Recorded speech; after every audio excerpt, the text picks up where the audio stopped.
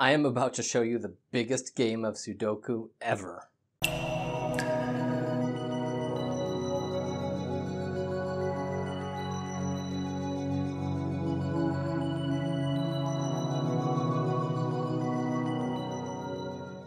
Hello everybody, I am Nick the Naval Architect, and welcome to the Guts of CFD Part 4, the CFD Linear Solution. So far, we have covered the Navier-Stokes equations, we've covered the basic transport equation, and we have covered the interpolation equations. So that's laid down the basic physics, and that's allowed us to turn those physics from calculus differential equations into algebraic equations that the computer can solve.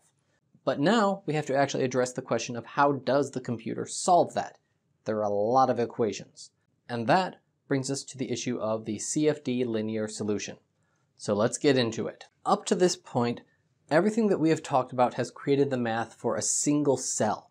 We've had the transport equations, that's our Navier-Stokes and other equations, and we've had the interpolation equations that converted calculus into algebraic equations that the computer could understand. And all of this has said that I've got a single cell and I've got information that I'm getting from my neighboring cells. Well, there's a catch here. We actually know that we don't know the answers for all of these neighboring cells either.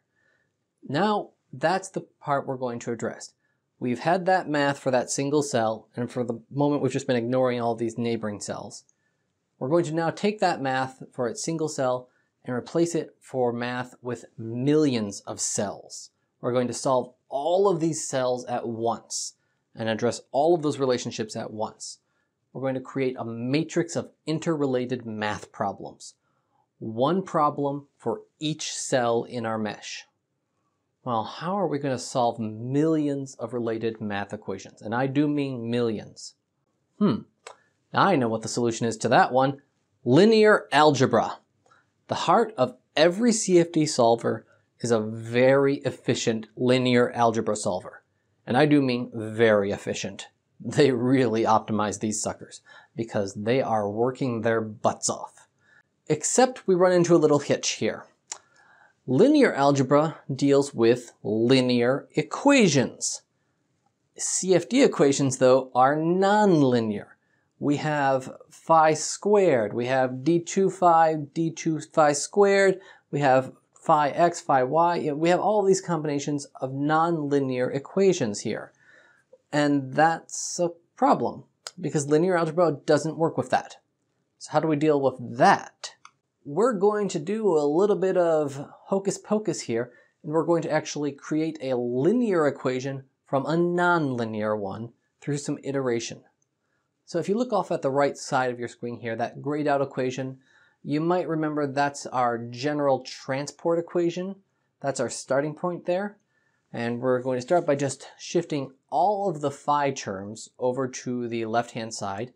Uh, phi is our general term here. It's, it's our catch-all phrase for whatever the variable is that we're solving for. It can be fluid velocity, it might be pressure, it might be turbulent kinetic energy, whatever it is. Okay, so we shift everything over to the left-hand side. And it's starting to look like we've got some possibilities here. We factor out all of this, and we're trying to actually factor it out so that now we have just phi as its own separate matrix here. Uh, gradient, phi is the gradient of phi. And what we do is we pull that out and we treat that as its own matrix. So 1 minus phi minus phi dot, that becomes the A matrix. And suddenly we have a potential linear solution here. So we have the A matrix which is a function of the solution. And then we actually have phi, which is our solution variable. That's the thing we're actually solving for. B, that's our source terms. Okay, that those are all of our constants. And then we have d phi dt. That's our time variation term. And now we actually do have something that we can solve for with a linear equation solver. We take an initial guess at what our solution will be for our phi variables. We use that initial guess to form our matrix of coefficients, our A matrix. Don't tell the linear solver that it's actually a nonlinear problem, okay? We get a linear solution.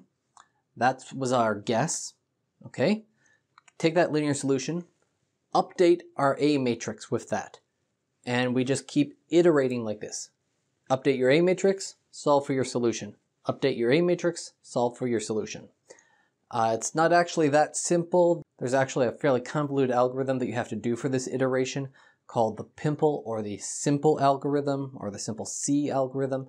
There's a couple different variations on that. But at the core of it, what you're doing is linear solution, update, iterate. And you just keep doing this. And it doesn't actually take that many times. Uh, typically, you can get to a pretty stable converged solution in five iterations is a typical value. So it's not too bad. And that is how we use a linear solver to solve nonlinear equations in a very efficient manner. Pretty neat, huh?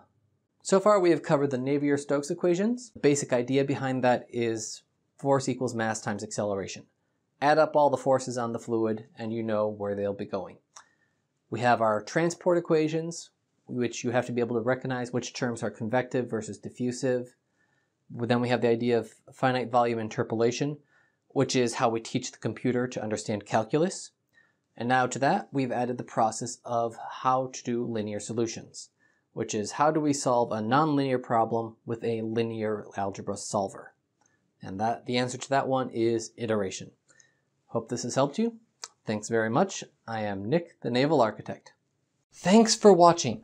Don't forget to click that like button and subscribe for more videos. And did you know that we produce more than just videos at DMS? Check out our website to find more articles, free downloads, and other help with ship design. We offer a host of engineering services for budgets large and small. So check us out to see if we can make your next project easier.